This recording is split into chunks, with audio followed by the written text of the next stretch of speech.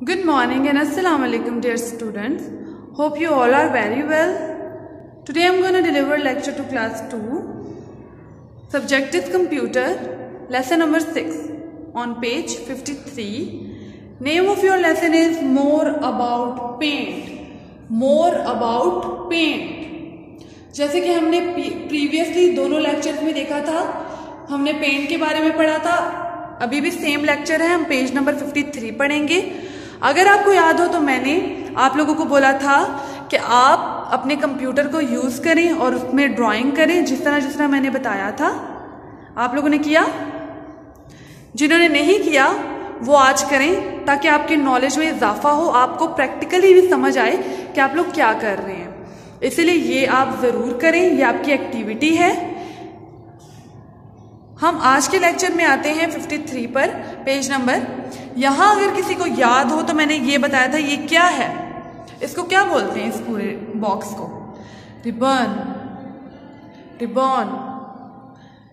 यहाँ पर जितनी भी ये चीज़ें हैं, उनको क्या बोलते हैं? ये जितने भी ऑप्शन हैं, उनको क्या बोलते हैं?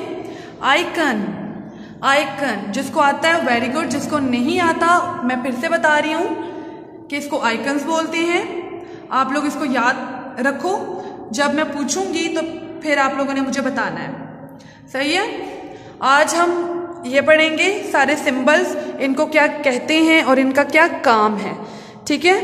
यहाँ पर मैंने क्या किया है, यहाँ मैंने बनाए हैं सिंबल्स और बताया है इन सिंबल्स के नेम यहाँ पर सबसे पहले सिंबल में आप देखेंगे तो ये है पेंसिल।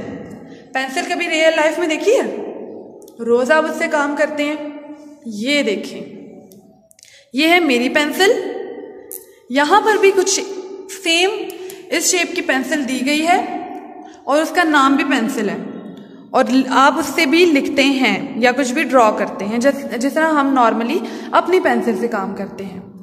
यहाँ सेकंड ऑप्शन है आपका इरेजर आपके अक्सर पेंसिल की बैक साइड पर भी इरेजर होता है जिससे आप रब कर लेते हैं।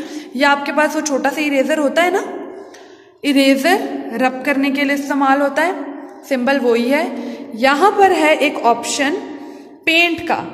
यहाँ पर आप क्या करते हैं कि कोई भी कलर को सिलेक्ट करते हैं और वो पूरा कलर आप यूज़ कर सकते हैं पेंटिंग के लिए। यहाँ पर कलर पिकर यहाँ से आप कोई भी कलर इस सिंबल को कलर पिकर कहते हैं। इससे आप कोई भी कलर पिक कर सकते हैं। इस सिंबल को कहते हैं टेक्स्ट मतलब अगर आपने कंप्यूटर में ड्रॉ के अलावा कुछ लिखना भी हो तो आप टेक्स्ट के ऑप्शन को अपने माउस के ज़रिए क्लिक करेंगे तो आप टेक्स्ट कुछ भी कर सकते हैं, कुछ भी लिख सकते हैं। यहाँ लास्ट आपको दिया गया है, ये मैग्निफिकेशन ग्लास दिया गया है, और ये मैग्नीफाई फाई करने का मतलब होता है किसी भी चीज़ को जूम करना। जैसे देखें, मैंने अभी वीडियो में किया है ना? जूम और जूम इसका मतलब है मैग्नीफाई करना। अब देखो, मैं जूम आउट कर रही हूँ। सही है ना? तो कंप्यूटर में भी अगर आपने इस तरह से करना हो, जिस तरह मैंने अभी किया था, ऐसे। देखें क्लियर नज़र आया ना आपको? उस तरह से आप कंप्यूटर में भी कर सकते हैं इस ऑप्शन को क्लिक करने के बाद।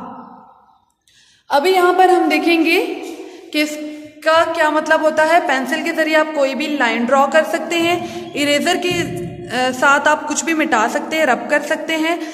कलर पेंट के ज़रिए आप किसी भी पिक्चर को कलर कर सकते हैं। कलर पिकर क्या होता है? Pick a colour from a picture and use it for drawing. कोई भी पिक्चर से आप कलर क्लिक कर सकते हो और फिर आप उसको अपनी ड्राइंग में या जो आपने ड्रॉ किया है, उस पर आ, कलर कर सकते हो। यहाँ टेक्स्ट का मतलब कि आप पिक्चर में या कहीं पर भी आप कुछ भी लिख सकते हो। मैग्निफिकेशन मैंने आपको भी बताया है। मैग्नीफायर क्या होता है? ये चीज़। जूम करना। ठीक है? किसी भी चीज़ को सिंपल वर्ड में जैसे आपको समझ आती है मैग्नीफाई करना।